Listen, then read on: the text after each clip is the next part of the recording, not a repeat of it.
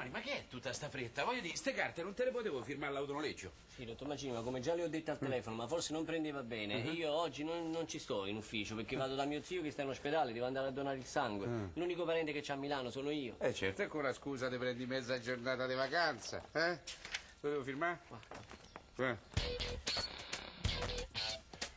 Buongiorno signor Franco, Egidio. Buongiorno Izza, è sempre un piacere vederla. Dipende dai gusti. Ecco, bravo, questo è il ringraziamento. E mi sono anche fermata tuo a comprare caffè per te. Eh. Visto che ti sei fermato a prendere caffè, potevi fare direttamente tutta la spesa, perché in questa casa non manca solo il caffè. Nel frigo c'è l'eco per quanto è vuoto. Comunque, visto che l'hai comprato, adesso almeno fallo il caffè. No, io adesso faccio lista della spesa, poi scendo a fare la spesa e poi quando torno semmai ti faccio camomilla, perché tu già sei troppo nervoso.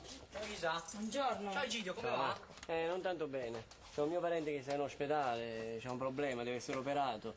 E allora è l'unico parente che c'ha a Milano sono io. E, E allora quindi vado. eh, a donare il sangue. Gidio gli va di donare il sangue per lo zio. O se ti sbrighi, magari oggi pomeriggio riesci a fare una capatina all'autonoleggio. Eh, sì, sì, su. pure. Bravo. Non sai quanto ci parlano in università dell'emergenza sangue. Sì, eh. Il problema è che la gente è o egoista o ha paura. Due problemi stupidi, pa, non trovi?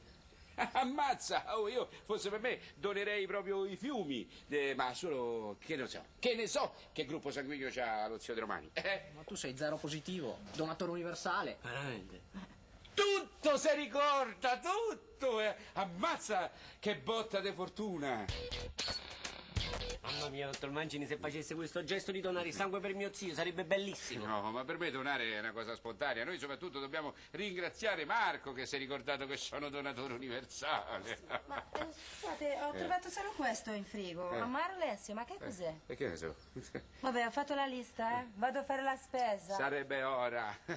oh, senti Marco, a me donare proprio, appunto, ho detto una cosa che proprio mi piace, mi riempie il cuore di gioia. Ma se ne sentono tante sull'igiene negli ospedali, la pulizia, dico, sti aghi, ste siringhe, il dopo che li usa, dico, li luciano, li lavano, li puliscono bene. Ma sono Come- siringhe monouso, pa. Ma non ci avrai mica paura. Paura, oh, che pa- paura io? Franco Mancini c'ha paura, di che? De Nago? Franco Mancini c'ha paura di donare due gocce di In sangue? verità non sono due gocce, saranno due o tre flacconi. Precisamente sono sacche quadruple per un totale di 450 ml di sangue.